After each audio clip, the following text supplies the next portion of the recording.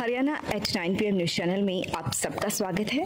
आइए आपको कराते हैं खबरों खरखुदा सोनीपत मार्ग पर new industrial site launch Kharkhoda व आईएमटी में अलग अलग साइज़ के इंडस्ट्रियल प्लाट लेने के लिए प्रधान ग्रुप से संपर्क करें। प्लाट मालिक के साथ सीधी मीटिंग करने के लिए तिरानवे पाँच सौ पचपन पचास ज़ीरो ज़ीरो नौ आरोप संपर्क करें। फिरोजपुर बांगर की रहने वाले एक युवक ने अपने जीजा पर दरवाज़ा तोड़कर उनके घर घुसने और मारपीट करने का आरोप लगाया है। इस दौरान आरोपित शराब के नशे में था और अपने भतीजे और एक अन्य के साथ आया था। शिकायत पर पुलिस ने मामला दर्ज कर लिया है। विकास का कहना है कि उसका बोपनिया का रहने वाला जीजा नरेश अपने भतीजे व एक अन्य नवीन के साथ उनके घर आए, जिन्होंने शराब पी हुई थी। आरोप है कि उन्होंने उनके घर दरवाजे को तोड़ना शुरू कर दिया। उसने दरवाज़ा खोला तो उन्होंने उस पर लात घुसों से हमला कर दिया। आरोपियों ने उसे जान से मारने की धमकी भी दी।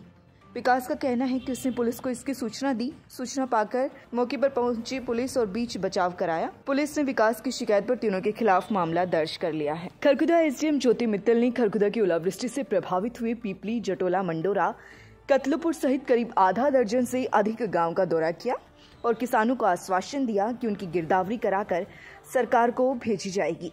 एसडीएम ने बताया कि पिपली गाँव सहित कई गाँव का दौरा किया गया। ओलावृष्टि से फ़सलें नष्ट हुई हैं। उनकी विशेष गिरदावरी के आदेश दिए गए हैं। हर एक खेत के मौके पर पहुँच के रिपोर्ट बनाने के निर्देश हैं। जो पटवारी गिरदावरी करेगा, उसे हिदायत दी गई है कि इस मौके पर गाँव के मौजूद व्यक्तियों को बुलाकर गिरदावरी करेगा। इसके अलावा कोई भी पटवारी लापरवाही करता है तो उसकी तुरंत ऑफ़िस में शिकायत की जाए, ताकि उस पर एक्शन लिया जा सके।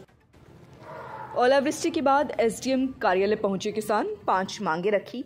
खरगुदा इलाके में हुई ओलावृष्टि के कारण जो फ़सलें खराब हुई हैं उनके किसान सोमवार को बारी बारी से एसडीएम कार्यालय में पहुँचते रहे और भरपाई की मांग करते रहे। इसी चरण में सामूहिक तौर पर भी किसान भगवान परशुराम पार्क में एकत्रित हुए और वहाँ से एसडीएम कार्यालय पहुँचे। एसडीएम कार्यालय प्रांगण के पार्क में बैठकर एसडीएम मैडम को ज्ञापन, एमएलए जयवीर की मौजूदगी में ज्ञापन सौंपा। किसानों की जो मांग थी, उनमें बहुत से किसान ऐसे हैं जिन्होंने मेरी फ़सल, मेरा ब्यूरा पोर्टल पर पहले अपलोड नहीं किया था, क्योंकि वे अपना गेहूँ या सरसों मंडी में नहीं ले जाते थे। वे अपने घर के लिए प्रयोग करते हैं। इस तरह से एक, दो या तीन एकड़ से संबंधित किसान हज़ारों हैं। अब उनके लिए भी समस्या है। इसलिए ऐसे किसानों की मांग को ध्यान में रखते हुए पोर्टल को नए सिरे से खोला जाए ताकि वे अप्लाई भी कर सकें और क्षतिपूर्ति के लिए भी आवेदन दे सकें। किसानों का कहना है कि बर्बाद फ़सल का पचास हज़ार रूपए प्रति एकड़ मुआवजा मिले। बहुत से किसान ऐसे हैं जिन्होंने पाँच एकड़ से अधिक ज़मीन पर खेती की हुई है। लेकिन अब सरकार केवल पाँच एकड़ तक ही नुकसान की भरपाई के लिए पोर्टल पर अप्लाई कर रही है। ऐसे में बाकी ज़मीन के नुकसान का मुआवजा कैसे मिलेगा? इसकी भी सरकार द्वारा प्लानिंग की जाए ताकि जो फ़सल खराब हुई है, उसकी सारी की सारी फ़सल का मुआवजा मिल सके। किसानों ने यह भी मांग रखी है कि बहुत से किसान ऐसे हैं जो पट्टेदार, बटाई या ठेके पर फ़सल उगाते हैं।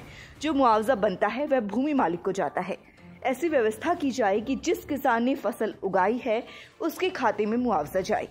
किसानों की मांग है कि पटवारी वे गिरदावर जब गिरदावरी करने के लिए खेतों में आते हैं तो वे खेतों में न जाकर किसी के घर में बैठकर या किसी की दुकान पर बैठकर गिरदावरी की खाना पूर्ति कर लेते हैं, जिससे किसान मुआवजा से वंचित रह जाता है। एसडीएम ज्योति मित्तल ने किसानों को आश्वासन दिया है कि उनकी मांग उचित माध्यम से सरकार को भेजी जाएगी। उन्होंने किसानों से अपील की है कि वे क्षतिपूर्ति पोर्टल पर अपने नुकसान का ब्यौरा अपलोड कर दे। बार बार समस्याएँ आ रही हैं और आपसे भी मिल रहे हैं। क्या कुछ मांग है जी उनकी और क्या उनका निवारण है? अलग अलग गाँव से किसान मिलने के लिए आ रहे हैं। जैसा आपको भी विदित है कल परसों में ओलावृष्टि हुई है जिसके कारण किसानों के खेतों में नुकसान हुआ है। उसी के उसमें ये लोग मेरे से मिलने के लिए आ रहे हैं। तो इनका रिप्रेजेंटेशन मैंने ले लिया है। ये मैं उचित माध्यम से सरकार को भिजवा भी दूँगी। और ई क्षतिपूर्ति पोर्टल जिसपे कि जो भी नुकसान होता है उसका रजिस्ट्रेशन होता है, वो पोर्टल सरकार द्वारा ओपन कर दिया गया है। किसानों को मैंने यही बताया है कि जितना आपका नुकसान हुआ है, उसका रजिस्ट्रेशन आप क्षतिपूर्ति पोर्टल पे करवाएँ। पटवारी कानूनगौर तहसीलदार्स को भी दिशा निर्देश दे दिए गए हैं। वो भी फ़ील्ड में हैं और वो भी जितना भी नुकसान हुआ उनका आकलन कर रहे हैं।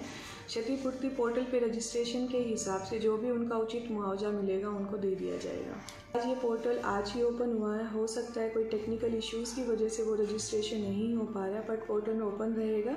सभी किसानों से ये मेरी अपील भी है आप लोगों के माध्यम से कि क्षतिपूर्ति पोर्टल पे अपने आप को ज़रूर रजिस्टर कर लें। अभी सरकार की दिशा निर्देश अभी पाँच एकड़ की ही आई है इन फ्यूचर जो भी दिशा निर्देश आएँगे उसी के हिसाब से किसानों को मार्गदर्शन दे दिया जाएगा। तगड़ा नुकसान।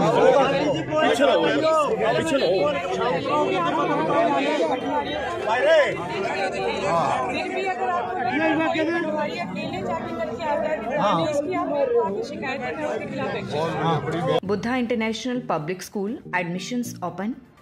Fully AC building, 7 acre campus, extra classes for weak students, specially focus on English speaking, BIPS app for parents, indoor stadium, boxing, wrestling, kabaddi, shooting, basketball, badminton, and lawn tennis.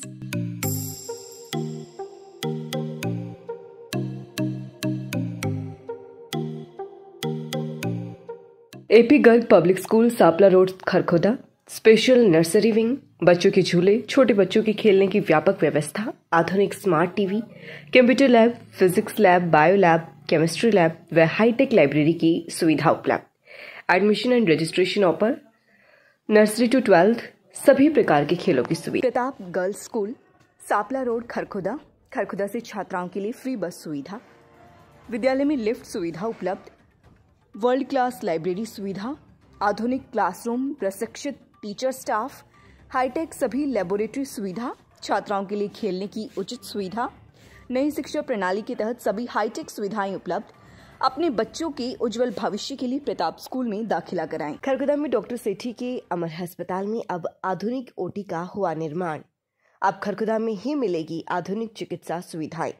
आँखों के हर तरह के इलाज व ऑपरेशन के लिए नेत्र रोग विशेषज्ञ डॉक्टर प्रियंका पटेल। लगातार खबरों से बने रहने के लिए चैनल को लाइक, सब्सक्राइब और शेयर ज़रूर करें। धन्यवाद।